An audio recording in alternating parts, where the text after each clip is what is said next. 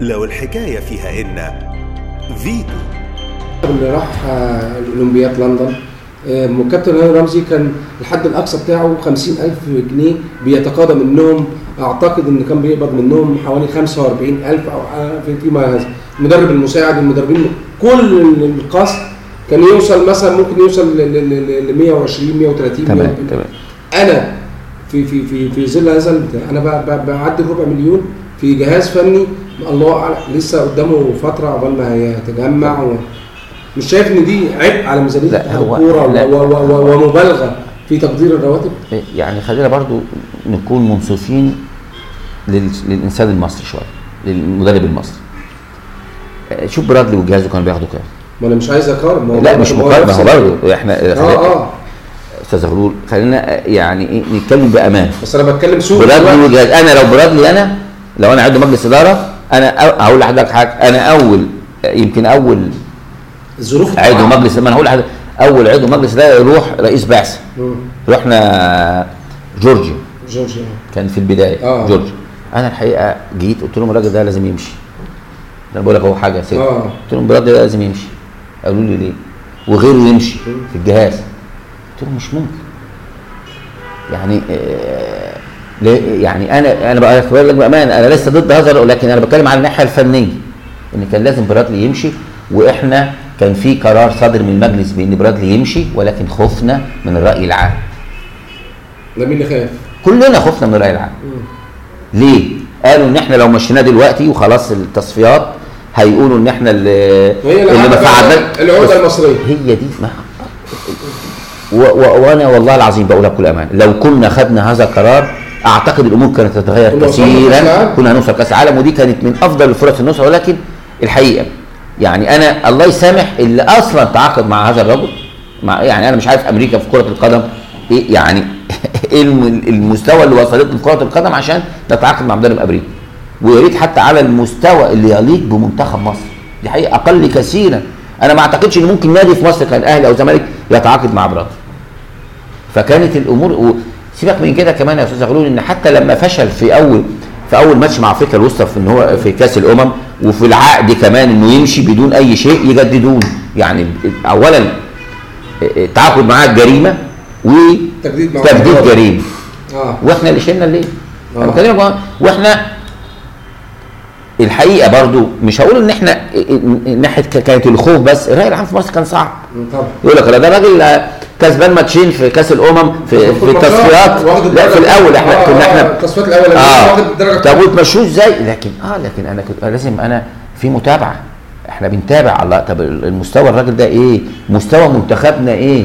الماتش هات لي مباراة واحدة في التصفيات لعب تشكيل ثابت. تاني مباراة. استحالة. 144 لاعب أو هذا العدد في طبعا. خلال كلام الحقيقة غير منطقي. قلتوا تجيبوا مدربين وطنيين. قلنا الفترة الجاية تح- تحتاج إلى المدرب الوطني. الحقيقة وعندنا ناس عندهم خبرات كتيرة الحقيقة من المدربين الوطنيين.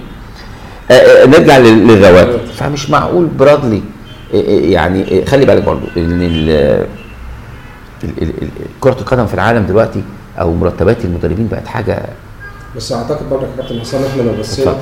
للساحة المحلية. يعني أنت عندك كمان الجوزية كان بيوصل ل 75000 يورو كان واصل ل 70000 يورو. تمام. لما تيجي تشوف الأزمات اللي بتمر بها الأندية والأزمات التي بت- بتمر بها الكره المصرية وأنتوا كاتحاد كرة منظومة من ضمن المنظومات اللي موجودة داخل مصر. أكيد. متأثرين أكيد ومفيش رعاة ومفيش ومفيش. فانعكس ده يعني أنا الزمالك خفض 50% من مرتب المدير الفني. كل الأندية خفضت الرواتب وأعتقد الأرقام اللي كنا بنسمعها 180 و200 وكلام من ده اللي كان بيت- بيتعمل. دلوقتي أنا شايف إن مفيش مدرب 50 60 ب- بأقصى حاجة الله أعلم يعني النادي الأهلي بيدي كام نادي الزمالك بيدي كام الكابتن حلمي لكن أنا عارف إن في تخفيض بنسبة كبيرة. أنا لما أجي اتحاد الكورة وأنا وأنا موجود في هذه الأزمة أحط أرقام بهذا الشكل. خدت بالك؟ يبقى أكيد أنا عندي بقى في بيضة بتبيض دهب في الاتحاد. عشان أدفع هذه الرواتب لا هو هو هو ما فيش هو لكن ما فيش بيضة ولا حاجة إحنا كل دخلنا آه. كل حضرتك عارف البث. والرعاية والبث ده ده, ده الحاجات اللي, بتدفع. ولكن خلينا نتفق أنا يمكن أختلف مع حضرتك في في, في رواتب المنتخبات لأن الحقيقة في أندية بتدي تقريبا نفس ال- الحاجات دي نفس فأنا إزاي مدرب منتخب مصر آه، ما أدلوش زي مدرب النادي الأهلي مجدود زي أنا مجدود أنا. أنا بختلف معاك. ما- ما- بختلف معاك لأن في كل مع إن المبلغ مش كبير زي ما انت يعني إحنا لو رجعنا آه. للي قبل برادلي كابتن حسن كابتن كابتن شاوي كان هو مدرب عام بياخد أكتر ما هو مدير فني. طيب. يعني, يعني إحنا لا أنا بتكلم إن هو آه. لما كان مدرب عام كان مرتبه أعلى من هو مدير فني بس كان- فيه ظروف ساعتها لا عايز أقول لحضرتك معلومة بالنسبة لمدربين رواتب المدربين. في كل دول العالم أو بنسبة كبيرة جدا من معظم دول العالم مدرب المنتخب هو الأقل رواتب بين كل المدربين الأندية. لأن مدرب المنتخب آه، هناك عندهم فلسفة. مدرب المنتخب ده ممكن يجي في الشهر ما ما ما ما, ما يحضرش إلا يوم. أو ما يعملش معسكر إلا يومين. لكن مدرب النادي مرتبط بتدريب الصبح وتدريب بالليل. ولذلك الارقام ريال مدريد الارقام طبعا بتاع ريال مدريد أو برشلونة. قصة أو تانية الأندية الإنجليزية لازم يفوق أضعاف مدرب المنتخب. يعني أنا ب- برضك عشان ما نقولش مدرب المنتخب إن هو يكون أقل لأ هو فعلا بيبقى الأقل على مستوى ال- ال- ال- العالم الخارجي نخرج من النقطة ديت وندخل بقى في في نقطة آه، رؤساء اللجان وتعيين ال- ال- ال- شؤون اللاعبين تعيين بعض اللجان. الاتحاد. آه في الاتحاد. تمام. بيتم برضك بنفس ال ال ال ال الأسلوب اللي إحنا بنقول عليه تربيطات. وحاجات مريحة ولا أنت شايف إن هو عقلاني ومنطقي؟ لا سؤال رائع. آه. أنا هجاوبك بقى في إيه؟ بالتجربة. آه. إحنا لما جينا آه، آه، نجحنا في انتخابات وهنخش هنقعد بقى ونبدأ ننظم شغلنا اتكلموا إن مفيش إشراف على إيه؟ على المنتخبات ولا على إشراف عموما على أي على حاجة. ولا لجان. ولا لجان. أنا الوحيد اللي قلت لهم بعد آه. إذنكم أنا مش هشرف على التحكيم. أنا ها رئيس لجنه الحكام أنا بكلمك آه. بكل صراحة وكل صدق. ليه؟ اولا ده قانوني 100% ودي لائحه الفيفا اللي هي لما يكون عندنا دوري محترفين. لازم. رئيس لجنة الحكام يكون عضو في اتحاد الكوره ده, ده دي لائحة آه. دي قديمة مش جديدة لكن إحنا لسه ما طبقناهاش.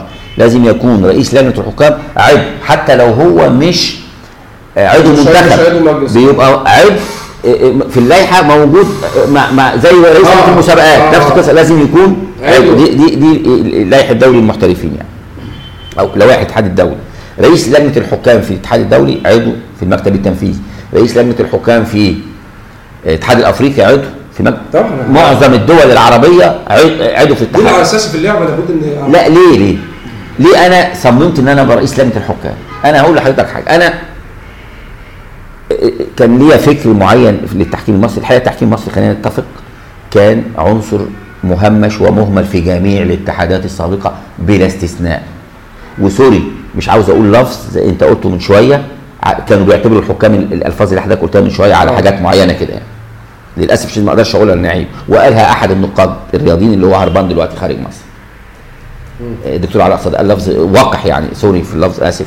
اللفظ غير محترم على الحكام. فشوف قد إيه المهانة والهوان اللي كانوا الحكام بيتعرضوا في جميع الاتحادات السابقة بلا استثناء صح. على الأقل عشان أكون شاهد حق اللي أنا عاصرتها وأنا حكم ما أعرفش اللي قبل كده إيه بس كان واضح طبعا إن الأمور ماشية الاسوء يعني.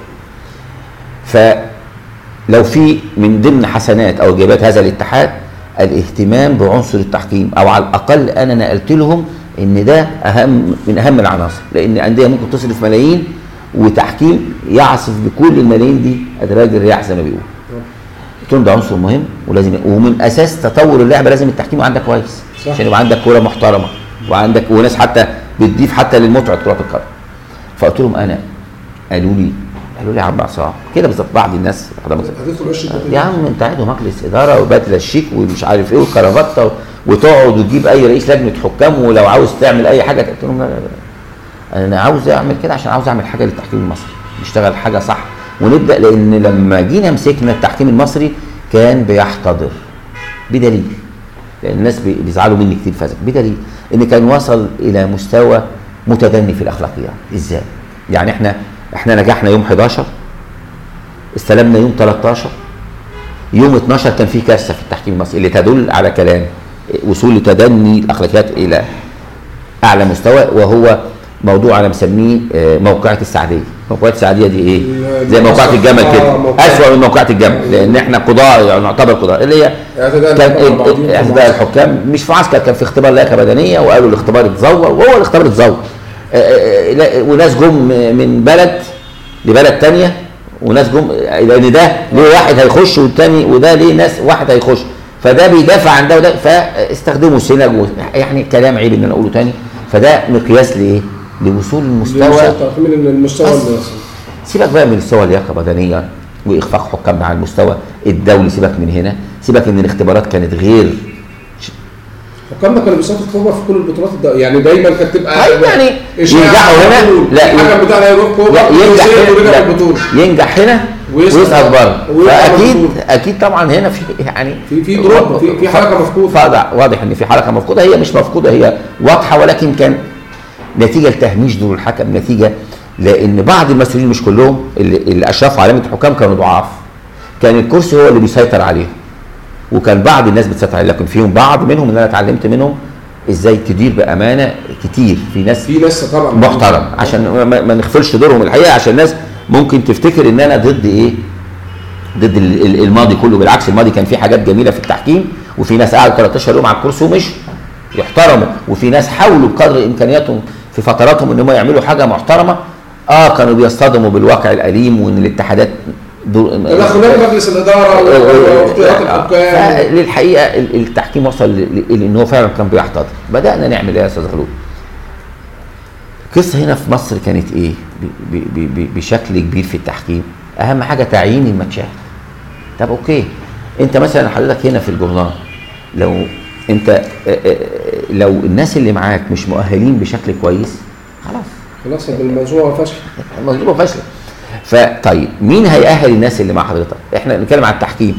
انت ما عندكش اللي يأهل الحكم.